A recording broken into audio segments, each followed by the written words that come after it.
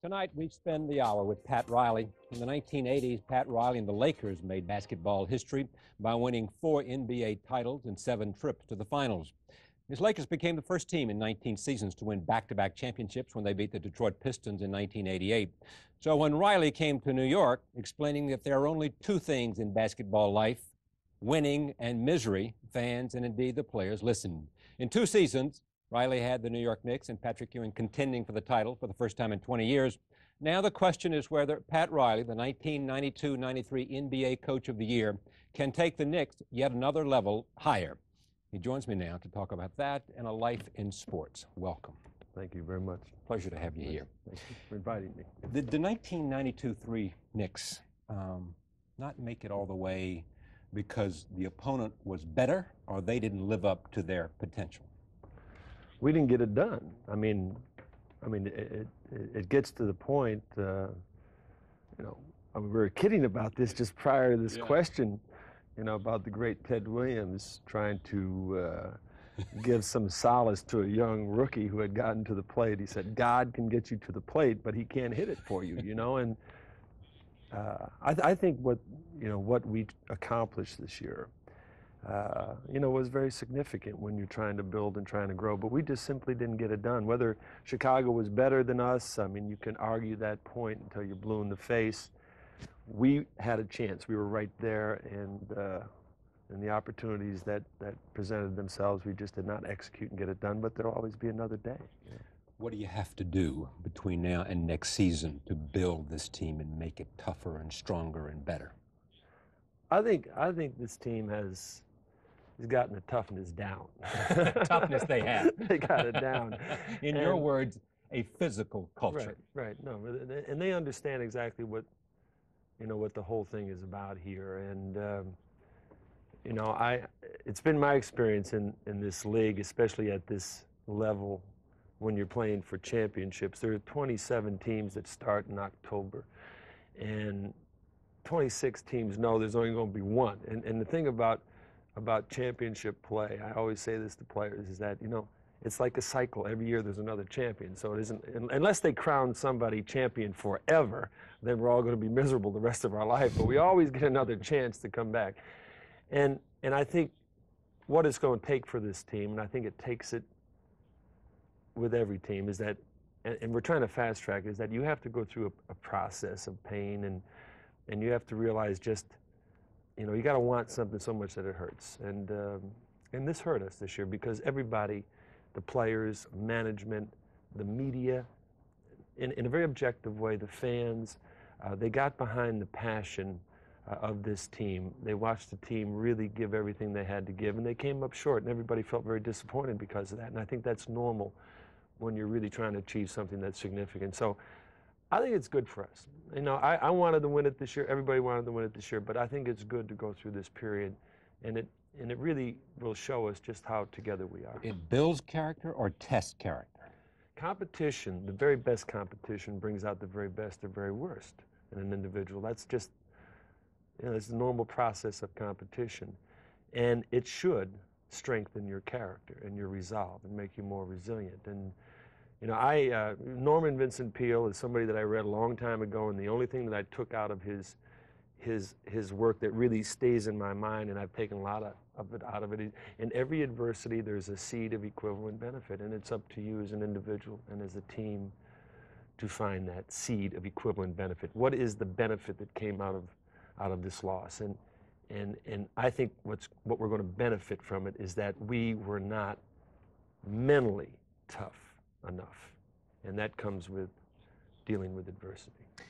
And they have to make themselves mentally tough, or you have to quote whip them into shape. No, it isn't. It's not about that. It's a. It's a. Teamwork is the essence of life. It's the essence of life in business and sports and in family. I mean, anybody that's part of a group. You have a group of hmm. people here that significant group to put this whole thing together, and it really is the essence of life. It, it it's like you know, it's sort of a profound statement to me because I've been around nothing but teams my whole life. I mean, it's all I know is the dynamics of teamwork. And, you know, I mean, you know, you, break it down as an acronym and it's, you know, togetherness and equality and attitude and meshing and we and organization and roles and being kindred spirits to one another. It doesn't happen overnight.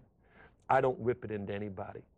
uh, I always ask the team, what is it going to take for us to become a together team? Do we have to win to come together, or do you have to be successful to like one another to come together, or do you have to become together in order to win? I mean, that's an interesting question. Sometimes. And, and what are the answers? I think you have to become a together team before you win. Anybody can win. We won 60 yeah. games. Anybody can yeah. win. Winning in the NBA during the regular season, to me, is nothing more than trying to position yourself for the big win. I mean, you have to be a together team to win it all. And I think there's the moot point. There is though there are those who say that you are one superstar away from a great team. That if you look at the Bulls, there is Michael Jordan and Scottie Pippen. If you looked at the Lakers, there was Kareem and Michael. I mean Kareem and Magic. Right. Are you are they right about that? Three positions have to be productive. You got to have three players on a team that you can count on every night and that you know uh, what you're going to get from you know from an offensive standpoint. Players that can really sort of transcend the game and and get it done. Uh, we have one in Patrick. Uh, we're developing other players, I think, on a regular basis. Uh, younger players that we hope will get to that level. Uh, but I mean, the Jordans, Chicago has the ring, they're on the throne, and they happen to have the biggest cannon. Michael Jordan is the greatest offensive weapon in the history of the game since Kareem Abdul Jabbar and his skyhook. And it's a great equalizer. Uh, he has the ability to be able to create uh, after everything has gone awry and, and to get the job done. And Patrick Ewing has the ability to do the same thing. Whether we need another one, I don't know. I think if the team gets stronger and we develop some of our younger players, uh, I don't think that is necessary, and I don't think we have to use that as an excuse for not winning because uh, you know they don't grow them on trees. you know, I'd like to have one drop out of the sky, but you know you got to develop. What them. would you like to have drop out of the sky most? We need uh, we need things uh,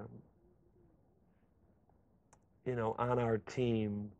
Uh, I think that come from skilled development more than anything else. And and so there isn't any one player. Uh, I mean, we can become a better ball handling team. We can become a better passing team. We can become a better playmaking team. We're a big muscle team. We rebound. We're the best rebounding team in the league. We're the best defensive team in the league.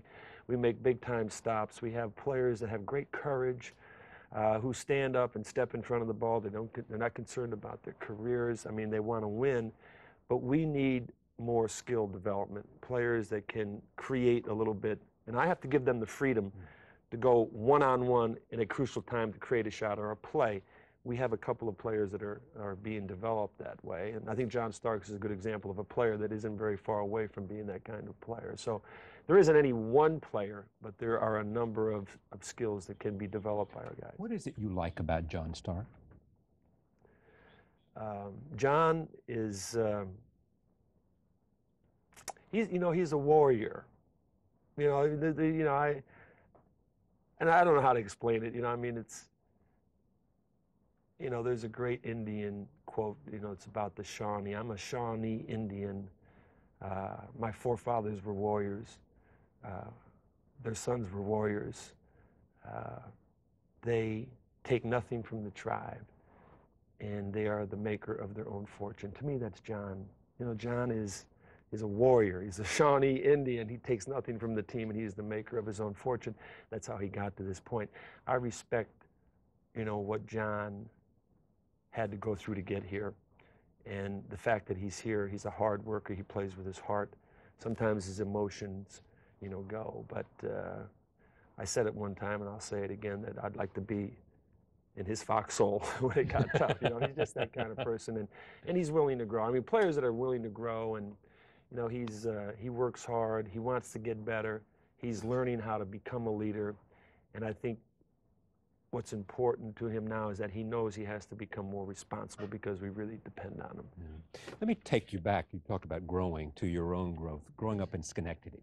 Uh, two people who seem to have had significant influence, and I'll talk about your dad in a second, but Walt Fisbul? Przybylo. Przybylo. Yeah. Uh, your high school coach. Right. What was it about him that impacted on you? Well, you know, he grabbed me by the back of the neck. Scruff and said, Riley, come here. you know, I mean, I mean, he was that kind of guy. You know, he saw this kid who was, uh, you know, running around. I mean, I was a product at that time of my environment, and Wh- and Which also- was? which was, I mean, we're in the mid '50s. I mean, it was about the Del Vikings and Yeah. the Dubs and the Chapel of Dreams, and it was about the Wild One and Marlon Brando and uh, Rebel Without a Cause. And I mean, it was about that time, and um, and so I was part of that. Uh, I wasn't a bad, bad kid. I mean, more that is, I mean, the myth grows. you I know? know it I mean, because you know, I broke a few windows and Yeah. Broke into a cafeteria one time and drank up all the milk. Well, there are also the stories of you going into the woods and, and cleaning up on all the bikers who Yeah, were there yeah, and, you know, and taking their money and then having to fight your way out. We used to arm wrestle a lot. We did that. But again, the myth grows. But uh, Walt Przybylo was like my father in a lot of ways, uh, a very disciplined voice Yeah. early in my life. And, you know, when he got me involved in basketball in a meaningful way, you know, one of my basketball coaches in junior high school was the English teacher. You know, and when you have an English teacher, you know, teaching you how to co- how, how to play the game, and what he's trying to do is teach you punctuation, Yeah. and you know, you know, and exclamation points. I mean, it, and then all of a sudden, a man comes into your life that really coaches you. You need a coach, and uh, I got a coach at that time in basketball, and he helped me. And a motivator. Yes. Yeah, would No, give these extraordinary Yeah. talks about. He was a he was a survivor of the Battle of the Bulge. He was uh, a World War II veteran, Yeah. yes, and he uh, uh, he talked about life, you know, 30 minutes a day. He was a great storyteller. I mean, we'd sit down there, we'd go through school, and then at 3:15 we'd go down to practice, and then every day we walked into practice, we never picked up a ball. We went in and put our backs up against the bleachers, and we all just sat there, and we waited. And he'd come out, and he would go, and he'd start talking about some subject or about some experience that he had, or he'd talk about one of us and, and Yeah. one of his teachers. I got a letter today from, you know, the chemistry teacher Patton, and and he would he would make a point out of it. He'd make a valid point out of it. So I, I I think you know when you have people like that in your life, you don't value them until you get much Yeah. older. How about Adolf Rupp? He was uh, he was Schwarzkopf. he was uh, he's a great great uh, presence. Uh, this is the basketball coach at the University, University of Kentucky. of Kentucky, and he was a disciplinarian. And I, and I take basically, you know, a lot of my philosophy from his coaching because I had four years of a of a very drill type mentality there. I mean, you could not speak in practice. You could not talk to your teammate. You could not smile. Uh, everything was to the second, to the minute, drill to drill, to station to station, and. But that's the way it was in the 50s and 60s. There was nothing wrong with discipline. I mean, I didn't want to play for a coach who wouldn't push me. I didn't want that. I didn't want to be around somebody who was going to be one of the guys. Did you have to have the coach there to push you, or were you the kind of guy that was going to push yourself? No, I don't think. I think I was pretty self-motivated. Yeah. But I think it's different today. I think I think all of society is different in, in how they um, how they will take direction, teaching, coaching, leadership. I think it's changed, and it has become very fashionable that you know those kinds of coaches or those kinds of leaders uh, will not be successful today because you know players, kids, students, employees won't deal with it anymore. Your dad, Lee Riley. Right. Yeah. What influence? Uh, he was uh, a survivor. You know, he uh, 25 years um in professional baseball in the minor leagues, and uh, it's a long time. Yeah. And always trying to, you know, get to that level. You know, just to get a cup of coffee with one of the major league teams, and he never made it. And so he was very frustrated by that. He was good enough to manage in the major leagues. No, no, he, he managed in the Philadelphia Philly organization, and uh, and there was a time in his career where he was supposed to, uh, and I think maybe even promised the job with the Philadelphia Phillies As a coach or manager. as the manager, and they put somebody else in ahead of him, and uh, you know, and he said, "Hey, this is enough." You know, he gave his sort of his life to that organization or a long time to it, and. Uh, and so he left the game in, a, in sort of a bitter state because of that. You remember that? I was very young. It was I was four or five years old, Mm. you know. But I don't remember that. I do remember him settling down, and I do remember us not traveling anymore from borough to borough or burg, burg to burg, Yeah. and uh, and so we we calmed down and, and resided then in Schenectady, New York, and he went into the private business, but uh, but I could sense his his displeasure for years after that.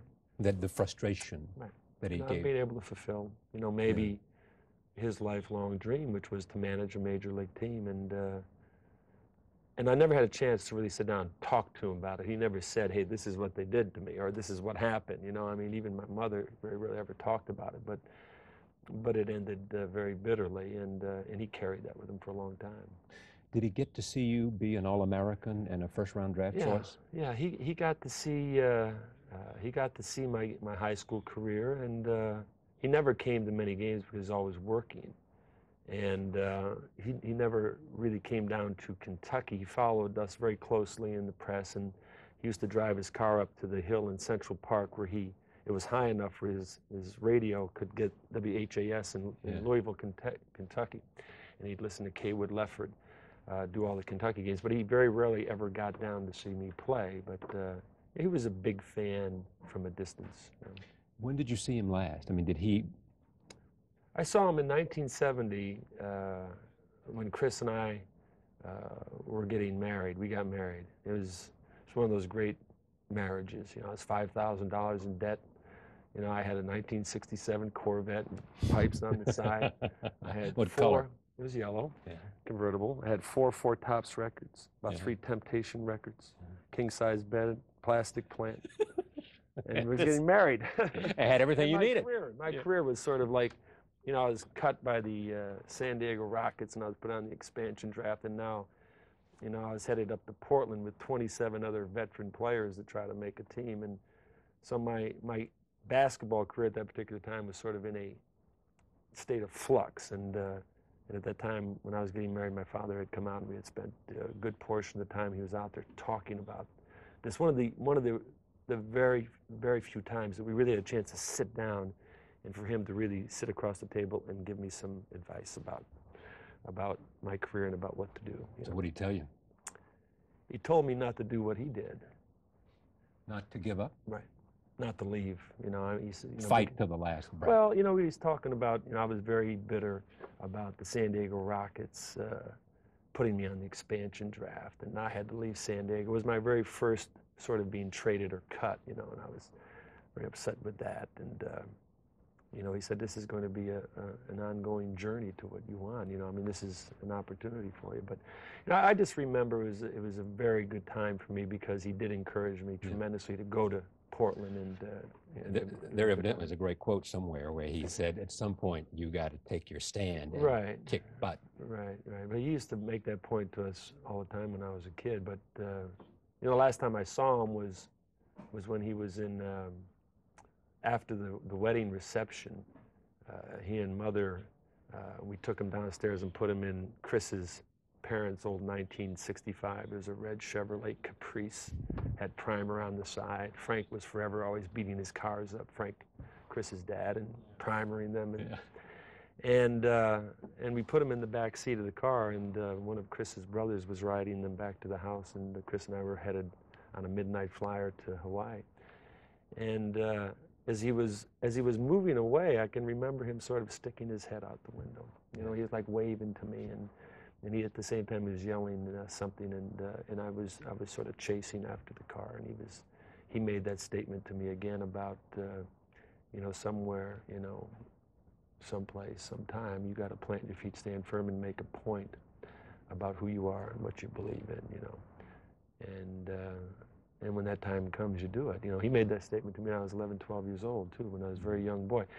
Uh, ironically, uh, it was the very last words I ever heard him say because he passed away that summer, and uh, I never saw him again after that. But I think in our minds, uh, as people, as we continue to grow and move on in life, there's always a voice. There has to be a voice uh, that comes from deep inside somewhere that that will inspire or motivate or allow you to sort of break through. And and his voice has been very very strong in, in my mind, even though you know he's been gone for 23 years. Yeah.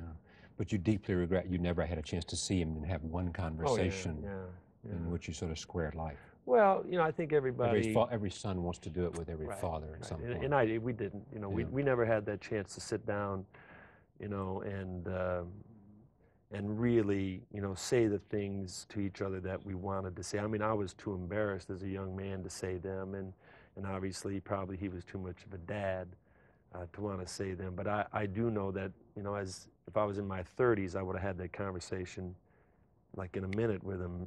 And even if he didn't want to, you know, I would have grabbed him by the lapels and I would have sat him down. But, you know, I say that all the time to, uh, to players that I talk to and uh, uh, about their fathers and, and, and, and any player or person that I meet that has a problem with his dad. And he said, or mom, and he said, ah, they won't listen to me. I don't want to pay any attention to them. You know, I, hey, do it. You know, you will regret it one day. And, and I think it's, it's our responsibility to, uh, to do that as children as we grow. Just to say everything that's on your mind. Not to say everything, but uh, I mean, you got to come to peace with it somewhere Yeah. because if you don't, it's going to be torture, I think, for you. And uh, later on in life, especially if, uh, you know, you get that telephone call, you know, the one in the middle of the night. And then Mine came early in the morning. yeah, yeah, you know, so, you know, I mean, it, uh, uh, it, it is a very powerful uh, presence. His presence is still very powerful in my life. How significant a disappointment was it to you to to not be a star in the pros? I never thought about it. You know, I, I knew, I never thought about it that way. When I came into the NBA, uh, I was a star at the University of Kentucky. And a first round draft choice. all of those things. And, you know, I, I brought all the credentials with me. And I found out in my first training camp just how competitive this was going to be. this was another zone. yes, yeah. You know, I mean, uh, I could not even get the ball, you know, up excuse me, across half court at times.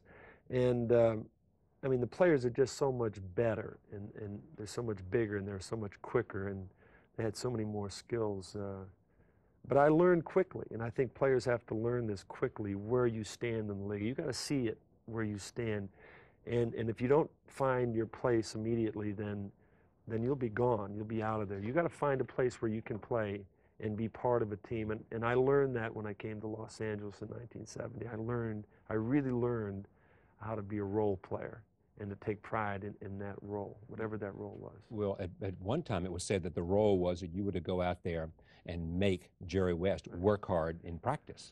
When I left, uh, when I went to, to Portland, and then Portland cut me, and, and the Lakers picked me up. Um, I think they got me for a thousand dollars or something, and then Chris and I took our Corvette and our plastic Same Corvette? our, we left the bed in Portland, but we ended up migrating back to Los Angeles, and we're back in Southern California, so we were happy with that. But uh, Fred Schaus, the general manager at that time of the Los Angeles Lakers, you know, he pulled me aside in training camp and he said, "Look, at do you want to make this team?" I said, "Yes." You know, I, I wanted a job. You know, and uh, he said, "Your job is going to be to keep Jerry West and Jimmy McMillian in shape." I mean, he really wanted me, you know, as the 12th player on the team or the 11th or 10th or whatever, but somebody who's not in the rotation to come to practice, to work hard, and to make these guys work. And and so that's what I did. And I tried to do it the best that I could. And you know, Jerry to this day is still very upset with me. You know, because you know he'd play 48 minutes one night, and the next day here I am drooling. You know, you know, beating this guy up, up and down the court. You know, but but he understood. That's what I had to do. You came to coaching by accident In a way, I think it was always in the back of my mind. because of your father, because of way, people that, yeah. even in the broadcast booth, and, and a fellow was injured in a bicycle, and yeah, I, uh, I used to coach do a lot of clinics when I was a player, and I felt very good. Uh, I'd be a guest speaker. I'd go to basketball clinics. There'd be a couple hundred kids, and and and teaching drills and teaching things. I felt very comfortable doing it as a player, and um, and I, I was asked to coach at camps and stuff like that when I was a player. So it was in the back of my mind. But when you're playing the game, you think you're never ever going to not be a player. You don't think your career is ever going to be over with. You know, and we find out just how quick it comes. But uh, yes, I, I I got out of the league and then I took a year off. I came back as a broadcaster, traveling secretary. I actually used to hand out boarding passes to the players and and uh, players used to throw them back at me. You know, I don't want 1A. I want 1D, and I don't want to sit next to that guy. You know, so I, I've had I've worn a lot of different hats. This glamorous career went through a lot of. But you were able through, throughout that to maintain your sense of who you were and your dignity and your sense of. I think we're, as I mentioned, a product of our environment. We're a product of our education, who, you know, who taught us.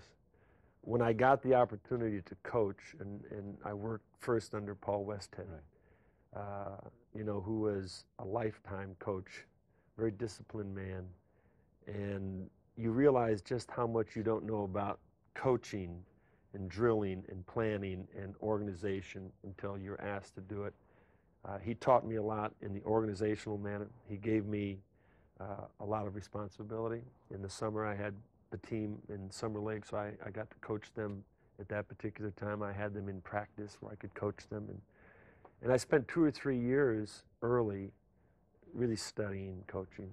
Studied Knight, Smith, Newell, Wooden, just studied them. All high school, I mean, all college coaches. About that time, yes, because Mm. they're the ones that were writing the books and they were the ones that were planning clinics. And uh, very rarely were there pro coaches that that really had published a lot of stuff, you know. But but that's where you went to get maybe your coaching background. And uh, so I spent two or three years, four years, really trying to study the art of coaching before I realized, you know, that that it really had to come from me.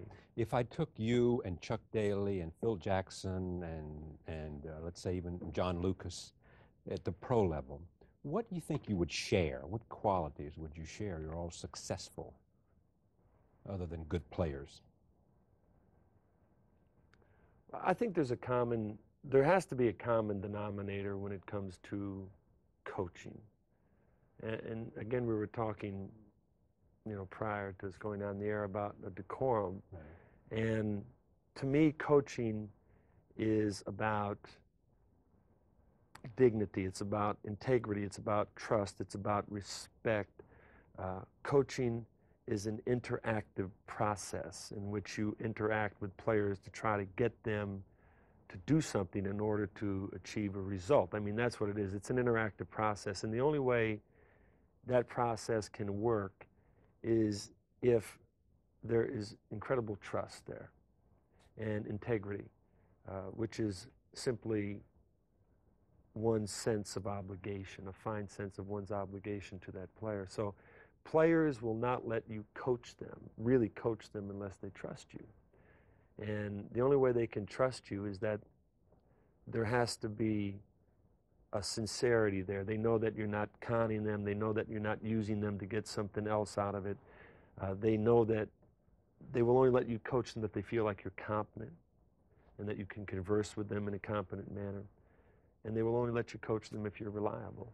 So I think I think all of those men, if we were to sit down at a table, I think I think they could all talk about trust and reliability and competence and integrity and those things that, that really players demand in a way. you Can know. you learn that? I mean, are you saying that by coaching clinics and a lot of other things that you got that there, or did you get that back from your father and from Walt and from Rupp and some just growing up and developing a code and a standard of living that coaching to me is is that. It's coaching. We have all had them so when, i was in the cyo or in biddy basketball or, or, or sometime you know i remembered when i would look at my coach even my seventh grade coach and i looked at him in awe because i always felt that the coach knew what he was talking about and that he had some wisdom and that there was some experience there and that he would help us uh, I really respect the profession at that level. And all of us in our life have all had a coach at some level. You know, we may not have all been athletes, but we've had a, a PE coach or we've had some kind of gymnastics coach or a, a little league coach. And, and I think it's our responsibility to take that, you know, that, that word and that title and, and to use it the way that it's supposed to be used. So coaching is about dignity and respect and pride and trust. And, and that's the decorum in which I think coaches have to carry themselves or should carry themselves. And in a way, they almost have to be beyond reproach in a lot of ways. beyond fear? Oh, no. beyond vulnerability? No. Hmm. No. Uh, leadership and coaching is defining reality. And if you're scared to death one day, you, I mean, they're going to see it. You know, I mean, I mean, there, I mean, well, I mean, one of the great sayings is, is that, you know, there's, there's no fear in being afraid. Or, or, I mean, that's part of competition. We all feel this anxiety, and uh, and I think that's what motivates a lot of people. Uh, but when it comes down to, to coaching and teaching players and getting players to really know themselves and to understand what competition is all about and defining that reality every day. See, that's all Walt Przybylo did to us. We didn't even know it. It was defining reality every day. Leadership is defining reality. It's telling the truth to the players. You don't get it out of books. You know, you don't have somebody tell you it so you can tell them. It's just players will inspire you to inspire them. They will. And if you know your players well enough, they're going to do something to get you to try to inspire them or to interact with them in a way to get a result. There is this thing which you call the toxic what? The- Toxic resentment. It's all part of the and it after a certain period of time with the with the raw edge of personality in that kind of cohesion uh, what a coach has only x number of years where he can continue to do that because it grows old because something happens it happens in life. I mean, teamwork is the essence of life in all in all aspects of life. And there is uh, I'm writing this book, and the book will be out in September, and it's called The Winner Within. And it's about 10 specific themes. And it starts with an innocent climb, and it ends with moving on. And in that process, when you start with a team innocently, when everything is fresh and there are no hidden agendas and everybody is for everybody and uh, there's voluntary cooperation and you're creating an environment in which everybody can flourish and then that all changes overnight as soon as the numbers come in right? As soon as there's success and then as soon as there's change. So there's innocence and there's growth and there's inevitable change. And what happens over the process of being part of a team and this happened in los angeles and it happened at ibm and it happened with all companies and happened with television programs and it does is that this process of change where people change and some people change more radically than others not just because they're getting older or more economically viable or socially prominent or more powerful or whatever it is the changes that develop within a team over the process of success inevitably always break it down to a bitter end. Toxic resentment toxic envy it just breaks down that way and what this book talks about is, is it talks about recognizing these things and how to short circuit them and how to, to read them coming. You don't have to go through that. Why can't a team go for 20 years? Why does it always have to break down? I mean, I mean, the 80s was a perfect decade where it, where it started. You know, it's what I call the disease of me. You know, you know, greed is good. We remember you can have anything you want in life. You just don't have to work for it. You know, I mean, values change, but you don't have to really make something you can do it on paper yeah, it's it's uh, re- toxic resentment. You know, is born out of success, and it is born out of those people involved with that team who simply have lost the ability to tolerate one another anymore, or to understand, or to grow anymore. And that's when your team and the fiber of the team begins but is it more down. tolerating each other or Yeah. tolerating the coach or including the coach whatever. You're all a mass. You're Yeah. a family, and and you just begin to lose the spirit of, you know, I mean, the spirit of uh, what the whole thing is about. You know, if you were to draw, you know, three circles, I, I always put a circle at the bottom, and i- i- in in that bottom circle would be the word it, and then in this circle up here in this corner would be the New York Knicks, and then in this circle up here would be your life, and the only way you're ever going to be very very happy in your life is that it really is born out of how you do in your career. And in a lot of ways, I mean, we take it home with us. And if you're successful in your career, if you're happy in your career, you're happy in your work, I mean, it's going to really reflect on your life. And the only way you can make this career work is that you've got to develop this, what I call this spirit of, this it. It's an attitude more than anything else. It's an attitude that comes from inside. And it- an it's, attitude that that comes from inside. Yeah. You cultivate it, you develop it, and you bring that attitude to everything you do in your life. You bring it to every single aspect of your life, and people read that. They know that what you're about is real, and they know that what you're teaching the Knicks is real, and that's part of your life. It can't be different. And, and you get into the spirit of this the spirit of unity, the spirit of tolerance, the spirit of understanding. Whatever it is that you have to get into as a team player, you simply get into it. You're either in or you're out. And there's no riding the fence. And when you get players that begin to ride the fence, you know, then they get out of it. And when they get out of it, then they should be the ones that leave. You shouldn't have to get them to go. Did this kind of conflict even come with, say, between you and Magic? No. Not Magic. No. I, I think I think anytime you leave an organization, you have no platform in which to defend yourself anymore because you've lost the authority base in a way. So, you know, once I left the organization, I knew what was going to happen. You know, all the daggers and all the darts, you know, just followed me out the door because, you know, there was a lot of resentment there. And it's just, you know, the thing that disappointed me most about about leaving the Lakers is that we had a great decade. We won more games in that history of that decade than anybody in the history of the NBA. We won championships, we celebrated, we cried. We had all of those wonderful moments that you go through as a team. And I wanted what I, I think is almost impossible today because of, of how the media scrutinizes everything is that for us to be responsible for that decade and to remember that decade is a great decade and to protect one another, protect the team, protect the legacy, protect the greatness. You know, once we, we all get old and we leave and we change, is get into a room, sit down, have a cup of coffee and say, hey, it's wonderful. Yeah. You know, good luck. See you along, you know, along the way. They don't let it happen that way. And that's probably what hurt me more than anything else. Magic and I were kindred spirits. I mean, we were kindred spirits in, in a lot of ways. I mean, he was the great point guard, but he and I had gotten to a point where we would think alike, and and there is nothing but mutual respect uh, there. I don't care what has been printed; uh, that will always be there, as the feeling that I have with all the other players too. There it says about it is said about Magic that on that team there came a time in which he realized that in order for him to achieve his goal, world championship, he had to help others realize right. their goal. Right. You know, which meant being a passer rather than a scorer right. in part, right? Well, I, I think that's true for for all great players or great people that want to win, that really know what it takes to win. It's it's almost it's a it's a, you know people have a tendency to chase things. I mean, ambition is a it's a disease in a way where people will always you know, what am I going to get out of this? I will give to you, but what am I going to get out of it? What are you going to give me back?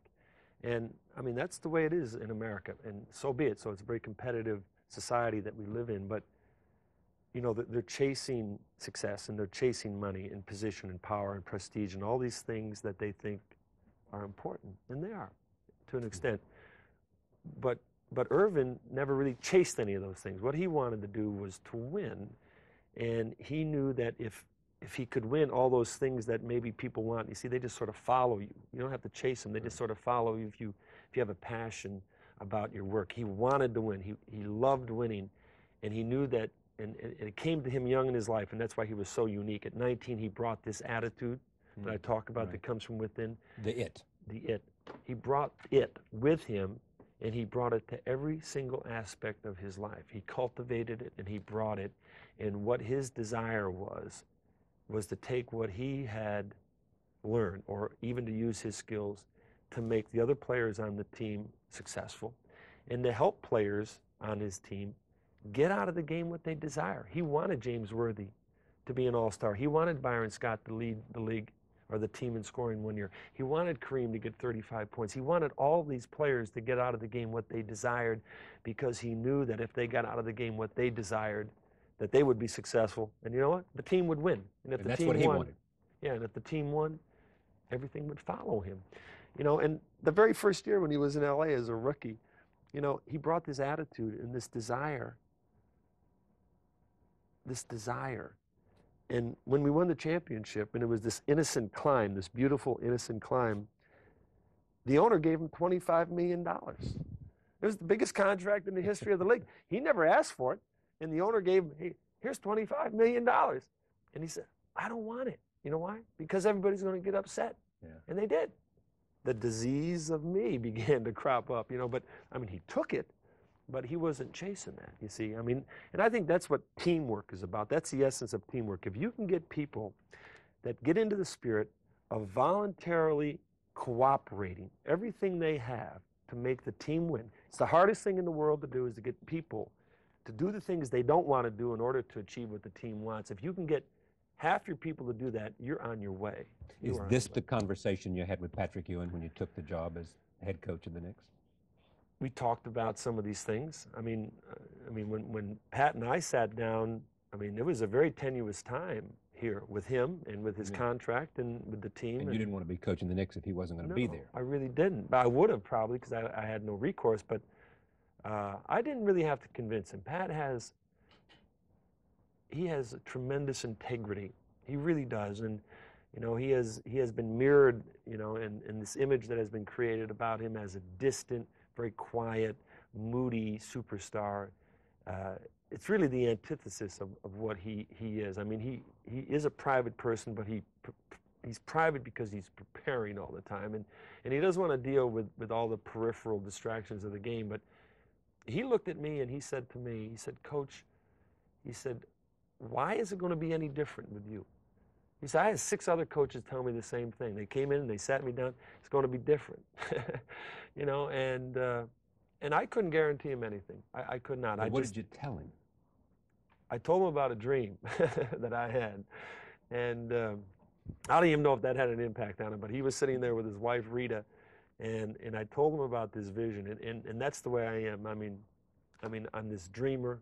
I visualize everything. I, I see it every single day, and and and actually, a year before I got the job with the New York Knicks, I I I visualized that I would get that was going to be my next job. I The knew it was, Knicks. yeah, I knew it was going to be my next job, and I didn't know. I mean, I knew the job would open someday because it opened six times in five years. So I think it would be open again. And once the job opened again, maybe uh, I could become a candidate for it. But I kept visualizing this opportunity. And, and as I would run up and down the beach in California, and I was working for NBC at the time, I kept visualizing talks that I had with the team, talks that I had with Patrick Ewing, Mark Jackson, Charles Oakley. I knew what I was going to say to them.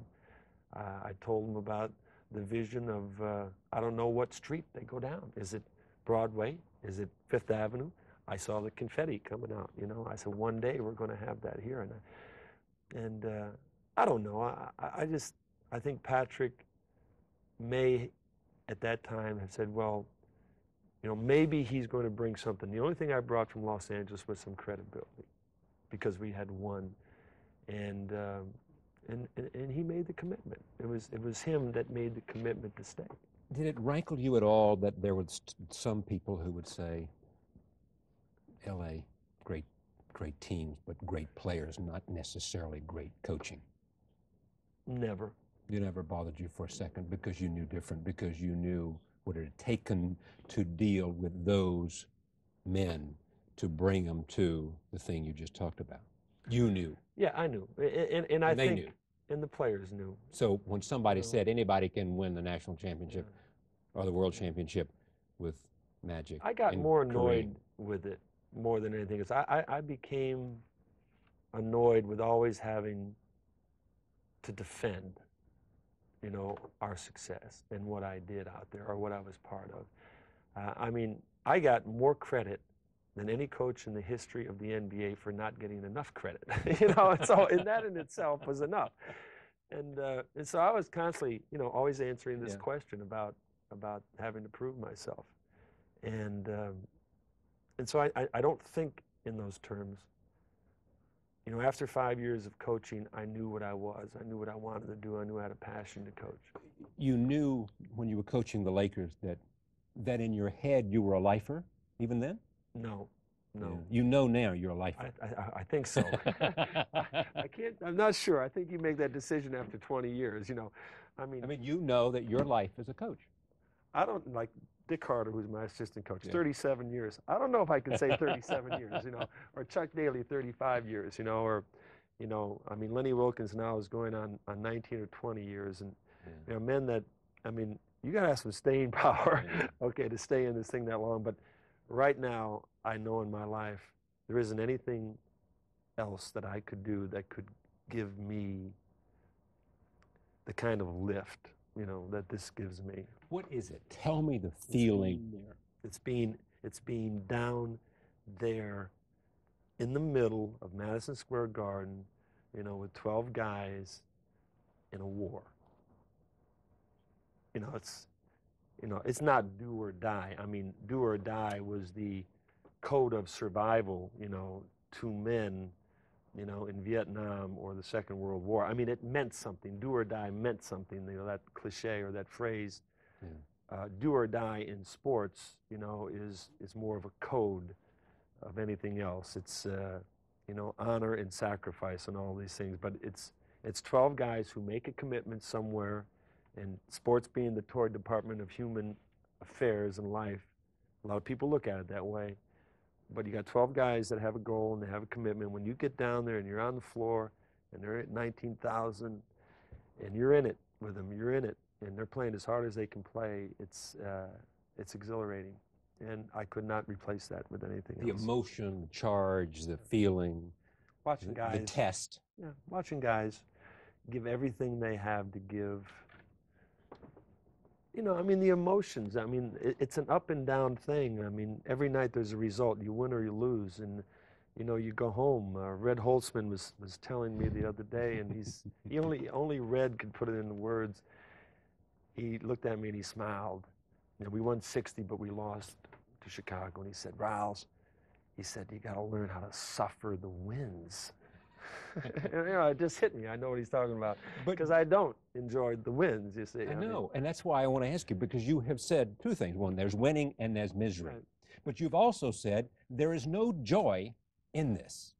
it's it, it's But you've just described that's the only thing you want to do. It, this seems a little bit contradictory to me. It's the only is. thing you want to do. it's the ultimate contradiction. Yeah, but- joy in your misery. Yeah. There's a lot of people in this world like that. There's a lot of people live in New York. joy and misery. joy and misery. Joy, no joy in your misery. Yeah, joy in your misery. But Uh, you're saying there's no joy in this thing. There is a tremendous it's the amount only of, place I Right. want to be. It, it's it, you know I, I'm you know I think you try to put it in that perspective because I think if you come into the NBA and, and you get into this kind of profession, and and it's a hey lollygagging easy, wonderful ride. Let's just get on, you know, the train and go. I think you're going to be more miserable than you've ever been. The players have to understand that to win a championship is going to be the most difficult thing you will ever do in your life. The most difficult thing that you've ever done in your life. You have to give up everything. You have to sacrifice everything. You have to do things that you've never done as a professional player. You have to work harder, get in better shape. You have to endure. You have to do these things in order to win. And any team that endures like this, it's not easy. It's, it's not. You find your moments during the season where the team can take solace in their success and they can, they can really be together. And, and I think that's why there was so much disappointment this year because I think the players gave that kind of mental effort. And when they didn't get it, there was great disappointment. And I think when you're there in that emotion, you're on your way. So, yes, there's joy in it. You know, I mean, Yeah. I mean, a, a good friend of mine puts it this way. I mean, you have that attitude, but there has to be an attitude with gratitude. Once the season was over with, and we went through the misery of four or five days of, of losing this thing, uh, I am grateful for being part of this team and being part of this group of guys. I mean, I, I really have a feeling of gratitude that I'm part of an organization that is this committed to this goal. And we had a great year. The guys should enjoy and bask in the limelight of this New York Knicks success. But can you? Yes. You can. You can Yes. go around and write your book and lecture and think about next year. Right. There'll be another theme. That's right. There'll be another, Another theme. theme. There'll be another theme next year.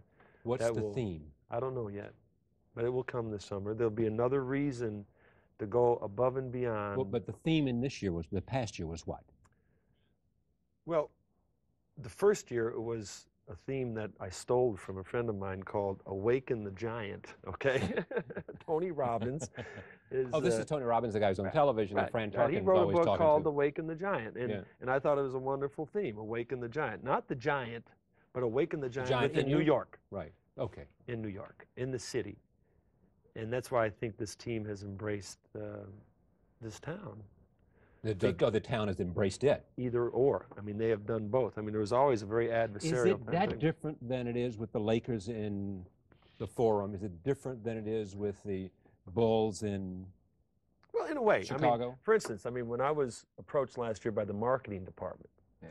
and they were they wanted to sort of talk to me about their ad campaign for the Knicks, and so one of the one of the drawings, you know, was a picture of the basket looking down in the lane, and then in the lane there was a chalk line of a dead person.